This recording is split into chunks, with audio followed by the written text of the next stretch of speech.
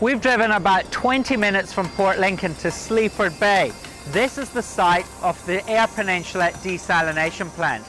The desalination plant is a key part of SA Water's much increased expenditure on regional infrastructure, creating water security in regional South Australia, which will in turn attract investment and give communities the confidence that their water supplies are being managed effectively.